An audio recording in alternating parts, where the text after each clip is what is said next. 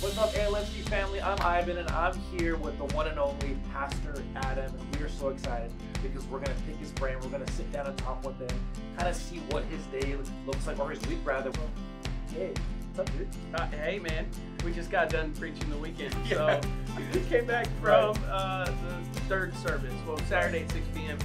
Technically the third service, Right. but second service on Sunday. So yeah, we just finished And you're not only speaking this Wednesday, you're also speaking the one after. next weekend as well. Yeah, so I'll be speaking this Wednesday now, and then next weekend as well. So for- very excited. So for those of us that aren't pastors, yeah, just eh, just walk us through not only the preparation, but how do you stay rejuvenated? Because yeah, you just sound cool, collected, like oh, it's whatever. I have to do another sermon. And, I Yeah. mean, but I know it's more than just Yeah. that. Yeah.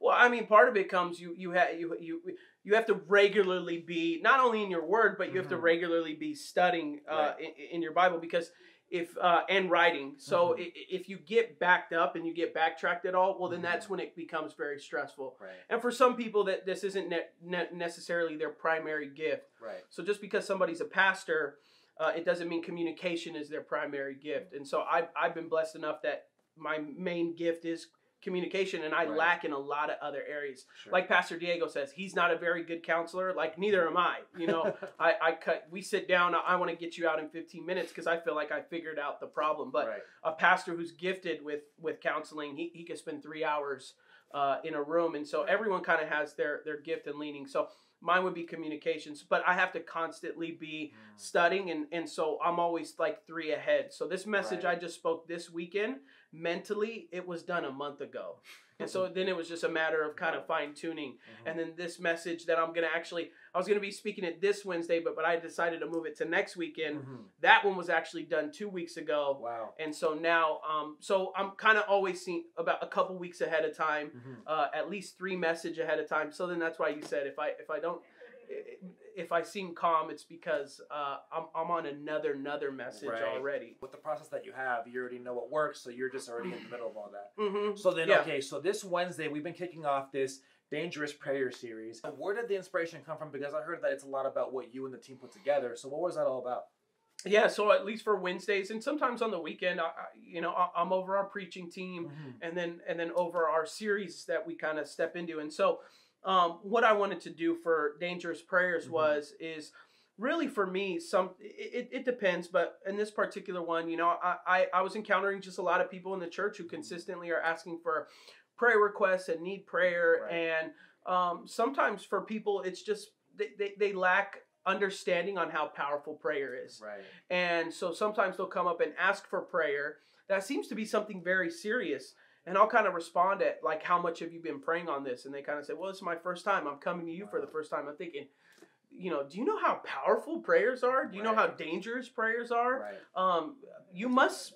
That may have not been connected to you yet because if you knew, you wouldn't be waiting till Wednesday or Sunday to come ask a pastor or an elder to pray Mhm. for you. You'd be doing that every every day because you knew that that shifts heaven and earth. Right. And so with this series, we really wanted to point some really powerful moments in the Bible, and we see it every every moment that we all look up to in the Mhm. Bible, at least as a miracle. Mhm. It, it kind of initiates as a prayer. That's what it Mhm. does. So you take you know Moses when he splits the Red Sea. I mean, Right. you know God tells him put your rod in in the ocean. Mhm. That's that's that's prayer. When God starts talking, that's communication and prayer. So that's where we really wanted to focus on and show how many times in the Bible you take Elijah in the fire, that's Right. happening prayer. You take Jacob when he wrestles uh, Jesus or the angel of the Lord, which I interpret as Jesus. Mhm. Uh, that's all prayer. Right.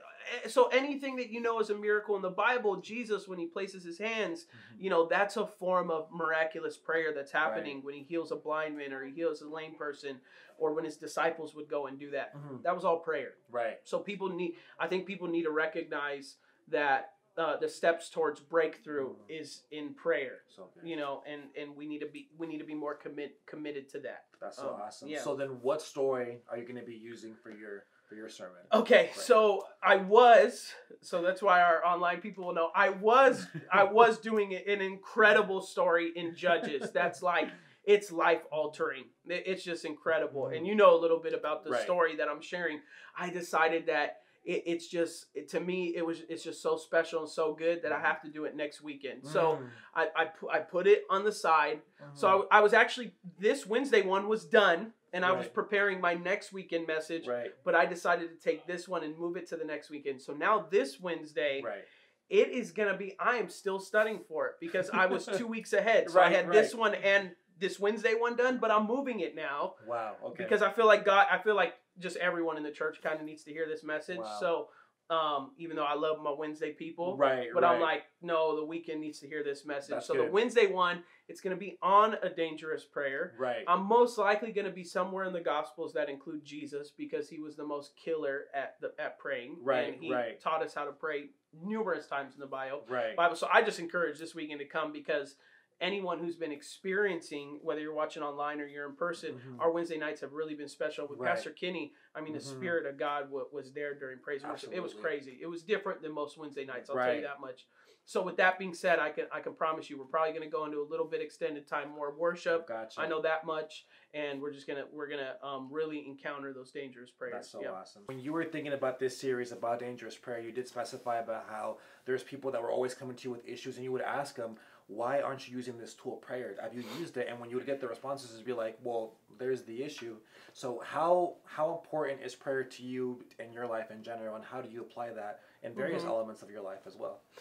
Yeah, no, I think that's a great question. I mean, prayer for me is is really a, a, a, daily action. Mm. It's a daily habit, but it's something that um, it was taught and it was shown to me from Mm. my dad. So, um, you know, my dad, Pastor Diego, when I would wake up as a kid, you know, I'd hear him praying in the spirit. I'd hear him also praying for all of us. Wow. So I'm taught at a young age uh, that really the path towards a relationship with God i is in prayer and and, uh, and really reading your word. Mhm. And then on our way to school, you know, my dad would say, Who, "Who's going to do the prayer for the day?" And if, if Mm. one of my brothers would have to, and if, if none of us raised our hands, he would just pick one of us, type of thing.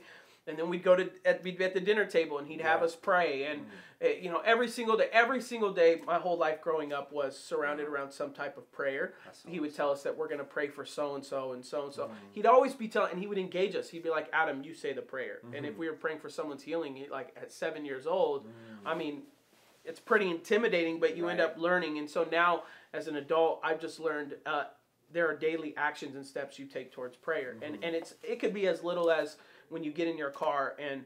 Um, you just want to. I do this often. When I'm in my car, I just start thanking God for my Mm. son and my wife because I never want to forget that. And so I get in my car and I'll just be like, God, thank you for Matthias. God, thank you Mm. just that you're just protecting him and looking after him, and thank you for my wife. And I'll kind of go into that almost daily, That's good. um, just to remind myself to be appreciative Mm. and thank God that He's blessed me with those things, That's even so at times that I'm annoyed. Right. You know, I still have to do that. Right. You know, like yeah. Right. Is there something that you want to tell that person that maybe is on the fence? Sh- Should I tune in? Should I stay? Should I listen to this message?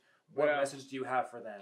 I would say if you've ever needed prayer, ever asked somebody for prayer, mm-hmm. ever hoped that someone would pray for you, even without you asking, then I encourage you during these whole next couple weeks to tune in because there are going to be so many key features, so many key points, and we're going to be praying as well as a church as well that you're going to learn and walk away with and hopefully build more confidence with. I know for me one of the hardest things to do it was before I became a pastor was mm-hmm. Pr- like praying for someone where they actually hear me praying. I would pray in private, but I didn't like it. But as my relationship grew with God, Mhm. uh, he put more of a boldness in for me to actually, when someone says, "Hey, can you pay for my mom?" I'd say, "Yeah, I'll pray for you," and then Mhm. I'll I'll leave. Right. Now I have to stop and pause. and Say, "No, Adam, stop," and say, "What's stopping us from praying for your mom right now?" Right. and I have to do it. And so there's things in these series that are going to challenge us, and you're going to want to come because you're going to just walk away totally uh, uplifted, encouraged, and uh, hopefully learn something that you haven't known before about prayer. That is so awesome. Well, PA, thank you for the time, brother. Thank you. Always appreciate you. Appreciate you, Yeah, I can't wait to see King- Sir King Prophet. Ivan. Yeah, yeah, yeah. well, guys, thank you for tuning in,